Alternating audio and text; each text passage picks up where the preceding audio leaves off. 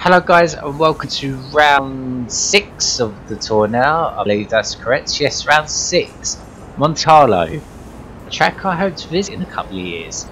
Well, I would like to, how far we'll get we'll see, but this will be the first time on the lap guide tour we will see the ultra soft tyres in action.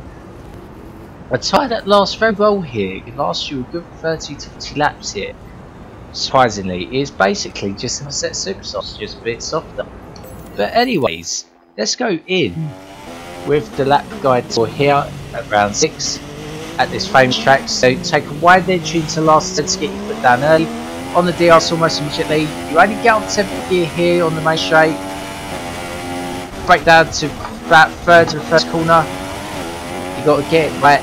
As you can see the barriers look like forever closing. Flat hmm. out, up into Casino Square here.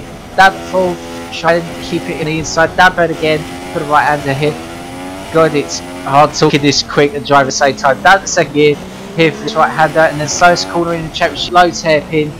First gear, about 50 kilometers an hour. Back up to second for this right hander here.